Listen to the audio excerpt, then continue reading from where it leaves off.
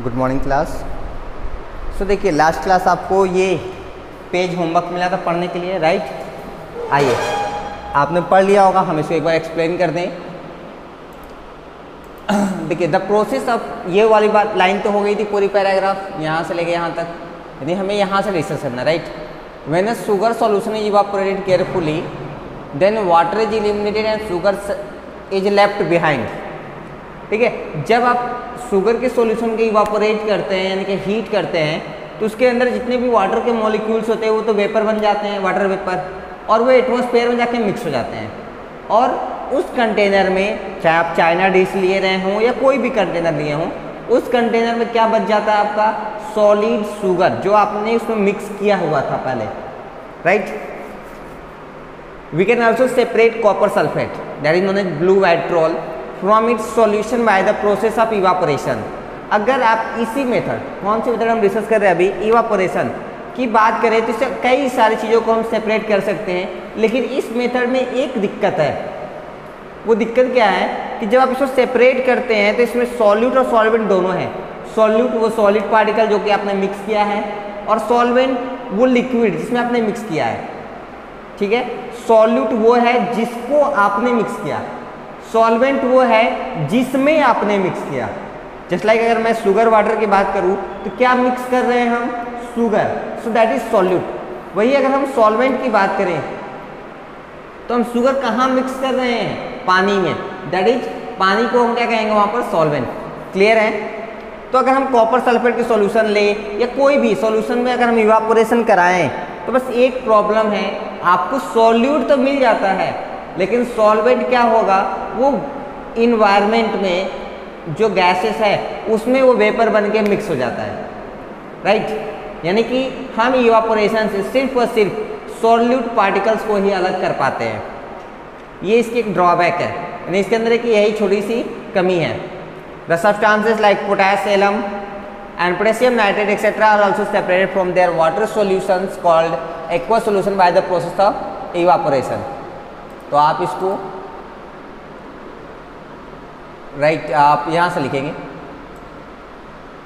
We can also separate से लेके यहाँ तक। अब आपको एक टर्म मिला ना एक्वस एक्वस का मतलब आप समझ जाए।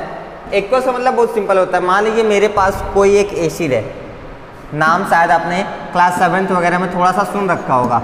सल्फ्यूरिक एसिड अगर नहीं जानते, कुछ भी नहीं जानते तो भी परेशान ना हो। घर पे इन्वर्टर या बैटरी है है ना? तो पापा से पूछिएगा, पापा क्या करते हैं? बैटरी का पानी लेके आते हैं कंटेनर में डालने के लिए बैटरी में राइट वो सल्फ्यूरिक एसिड ही होता है। अब सवाल ये है कि आपके माइंड में छोटा सा कॉन्सेप्ट चलता है कि एसिड का मतलब कुछ ऐसी चीज़ें जिसको हम टच करें तो जल जाए। हाँ वो बिल्कुल सही है। लेकिन अब जैसे इंसान दो टाइप के होते हैं। सारे इंसान अच्छे तो होते नहीं हैं, कुछ इंसान अच्छे होते हैं तो कुछ बुरे भी होते हैं। इन द सेम वे सारे एसिड स्ट्रांग नहीं होते। कुछ एसिड स्ट्रांग होती हैं तो कुछ एसिड्स वीक होती हैं। ये सल्फ्यूरिक एसिड तो स्ट्रांग एसिड है। लेकिन अब हम इसको वीक बना सकते हैं। वीक कैसे बनाते हैं? इस एसिड में हम पानी मिला दें। अब मान लीजिए मेरे घर पे प्योर दूध आता है राइट वो तो प्योर है एकदम। हम पियेंगे तो मुझे फ़ायदा ज़्यादा होगा। अगर मुझे उसी दूध के अमाउंट को बढ़ाना है हम क्या करते हैं पानी मिला देते हैं। मिलाते ना चाय वगैरह बनाते वक्त। तो उससे क्या होगी? उसकी स्ट्रेंथ क्या होती है? कम होती जाती है। तो जब हम सल्फ्यूरिक एसिड में पानी मिला देंगे तो ये क्या होगी? इसकी स्ट्रेंथ कम होती जाएगी। आप यूँ समझ लीजिए, कोई भी सॉल्यूशन जो कि पानी में मिक्स करके बनाया गया है, उसको हम बोलते हैं एक्वस सॉल्यूशन क्या बोलते हैं? एक्वस सॉल्यूशन एक्वस का मतलब होता है रिलेटेड विथ वाटर पानी से मिला हुआ। आपने नाम सुना होगा एक्वेटिक एनिमल्स सुना या नहीं? हाँ एक्वेटिक एनिमल्स किसे कहते हैं? जो पानी में रहते हैं हमेशा। यानी एक्वस वर्ड किसे लिया गया पानी से?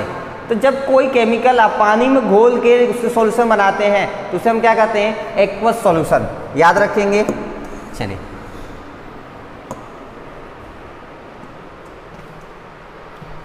It should be noted that during the evaporation of a water solution, we get the dissolved solid substance, but water cannot be recovered in this method.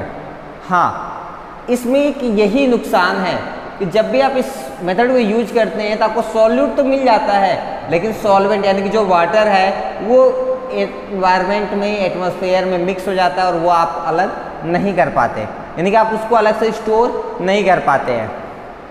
When a solution of sulphur, in carbon disulphide is evaporated जब हम sulphur को carbon disulphide का mixture बनाते हैं, यानी उनको मिलाते हैं और उसको इवापोरेट करते हैं then carbon disulphide vaporise and the solid sulphur is left behind तो जो सॉलिड सल्फ़र था, वो तो बचा रह जाएगा कंटेनर में और वहीं पे जो कार्बन डाइसल्फाइड सॉल्वेंट आपने यूज़ किया था लिक्विड वो वेपर बन के क्या होगा एटमोसफेयर में मिक्स हो जाएगा. It should be clear by now that अब तक आपको ये क्लियर हो चुका होगा कि evaporation is use for recovering dissolve solid substance from liquid mixture evaporation method सिर्फ़ और सिर्फ़ हम वहाँ यूज़ करते हैं जहाँ पर मुझे पूरे सॉल्यूशन में से सिर्फ़ सॉल्यूट चाहिए। यानी कि वो सॉलिड पार्टिकल जिसको आपने मिक्स किया था, आपको सॉल्वेंट की कोई ज़रूरत नहीं है। अगर आपको सॉल्वेंट भी चाहिए तो फिर ये मेथड आपके लिए नहीं है। उसके लिए हम नया मेथड आगे पढ़ेंगे, उसको यूज़ किया करेंगे। But the liquid itself can not be recovered by this method लेकिन इस मेथड से वो लिक्विड जो सॉल्वेंट थी, जिसमें आपने मिक्स किया था, आप उसको रिकवर नहीं कर सकते, उसको ऑप्टेन नहीं कर सकते। The liquid vaporise and get lost to the air क्यों? क्योंकि जो लिक्विड होती है, वो वेपर बनती है और बाहर एटमोसफेयर में वो मिक्स हो जाती है। दैट्स ऑल तो आपने ऊपर जितना लिखा, उसके आगे आप ये लिखेंगे। नोट पॉइंट में। ई को कैपिटल कर लेंगे इवापोरेशन से लेके यहाँ तक। अगर विजुअल नहीं है तो मैं पेज ऊपर कर देता हूँ, परेशान ना हो। अभी विजुअल हो गया? हाँ। तो आपको नोट कहाँ से करना है? यहाँ इवापोरेशन से लेके यहाँ तक। कर सकते हैं? चलिए नेक्स्ट हमारा दिस ब्लू इंक और ब्लैक इंक चाहे हम ब्लू इंक की बात करें या फिर ब्लैक इंक की बात करें। Use in fountain pens is a liquid mixture जो कि फाउंटेन पेन में यूज़ किया जाता है। पहले के जो पेन होते हैं नीब वाली पेन हाँ उसको फाउंटेन पेन कहते हैं। उसमें हम ब्लू इंक या ब्लैक इंक डाल के यूज़ करते हैं राइट तो उसमें क्या होता है कि लिक्विड मिक्सचर होती है। वो ब्लू इंक हो या ब्लैक इंक हो या रेड इंक हो, कोई भी कलर की इंक हो, या मार्कर में भी इंक डालते हैं, वही इंक की बात करें तो एक्चुअली एक कलर प्योर नहीं है। That is the mixture it is a mixture of dye in water actually किसका मिक्सचर होता है?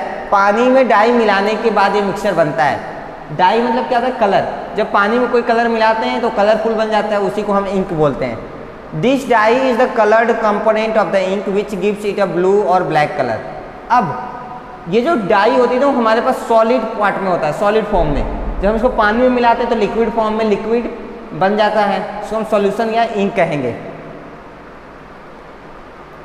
Okay we can separate the coloured component of ink और dye from ink by the process of evaporation अब मान लीजिए आपके पास solid colour था, आपने उसको पानी में घोल दिया, अब कलरफुल वाटर बन गया। लेकिन आप चाहते हैं कि वो वाटर फिर से गायब हो जाए और आपको सिर्फ़ वही सॉलिड पार्टिकल्स मिल जाए। जो कलर आपने मिलाया था, जो डाई आपने मिलाया था, सिर्फ़ वो आपको मिले। फिर आप इवापोरेशन मेथड यूज़ करेंगे, आप इसको हीट करेंगे। जैसे ही आप हीट करेंगे, क्या होगा? पानी वेपर बन के एटमोसफेयर में मिक्स हो जाएगा और आपको जो इंक था, आपके कंटेनर में वैसे बचा हुआ मिल जाएगा। Please note that for evaporating ink we do not heat the china dish containing ink directly over the flame हाँ अब हम इसको करते हुए जो एक्सपेरिमेंट करते हैं, इसमें चाइना डिश जो प्लेट होती है, उसमें इंक के सैंपल को लेकर डायरेक्ट हीट करना नहीं कर, शुरू करते हैं हम।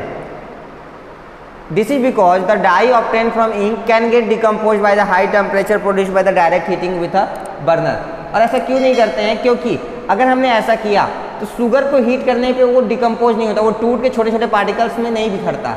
वो उसको बर्दाश्त कर सकता है, जबकि इंक के साथ ऐसा नहीं। अगर उसको थोड़ा ज़्यादा हीट कर दिए तो उसके जो पार्टिकल्स थे सॉलिड के, वो और छोटे छोटे पार्टिकल्स में टूट जाएँगे और बर्बाद हो जाएँगे। तो हम क्या करते हैं? Then we use a water bath for evaporating ink हम उसके लिए एक वाटर बाथ यूज़ करते हैं, जिससे कि हीट कम आती है। हीट कम आती है तो वो इवापोरेशन तो हो जाएगा धीरे धीरे होगा, लेकिन हो जाएगा। और जो डाई है, वो ज़्यादा हीट ना पाने की वजह से भी सेफ़ हमें मिल जाएगा।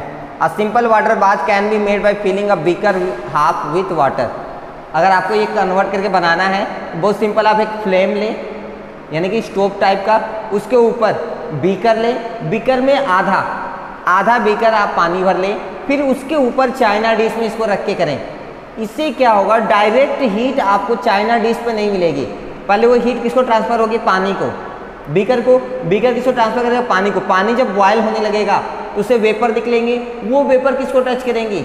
चाइना डिश को। और फिर वहाँ से आप इवापोरेशन होगा और धीरे धीरे होगा, ताकि आपका डाई खराब ना हो।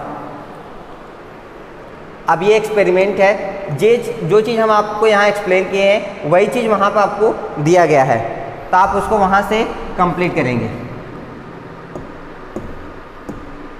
राइट हाँ तो ये एक्सपेरिमेंट आपका होमवर्क है। आप इसे कर लेंगे। इसमें आपको नोट क्या करना था? ठीक है, आप यहाँ से लेके यहाँ तक पूरा नोट कर लेंगे। अब अगर मैं आपको डायग्राम दिखाऊँ। तो देखिए, आपके सामने ये डायग्राम बना हुआ है। ये हो गया हमारा बर्नर ठीक है? बर्नर से हम डायरेक्ट देखिए, यहाँ पे चाइना डिश नहीं रखे हैं। इसके ऊपर हमने ये एक बीकर रखा है, जो बीकर में क्या है? पानी भरा हुआ है। पहले यहाँ से हीट आएगी बीकर गर्म होगा। बीकर गर्म होने से ये क्या होगा? पानी गर्म होगी। पानी गर्म होकर वेपर बनेगा स्टीम और यहाँ चाइना डिश है, जिसमें कि इंक रखा गया है। फिर इसमें इवापोरेशन होगा। यहाँ तक आते आते हीट की अमाउंट कम हो जाएगी, जिससे कि इसके अंदर जो डाई है वो डिस्ट्रॉय नहीं होगा। फिर कुछ देर के बाद जब आपका प्रोसेस पूरा कंप्लीट हो जाएगा तो आपको ऐसा देखने को मिलेगा। ये है आपके डाई जो कि यहाँ पर अभी ये मिक्सचर फॉर्म में मिक्स हो चुके हैं और यहाँ पर ये इवापोरेशन के बाद सॉलिड फॉर्म में हमें मिला है। तो जब आप ये एक्सपेरिमेंट को पढ़ेंगे तो वहाँ पे डायग्राम बना लेंगे और थोड़ा बहुत जो आप समझे हैं, आप अपने से इसको राइट करेंगे। क्लियर है? तो आज इतना ही, बाकी नेक्स्ट क्लास में। Till that thank you so much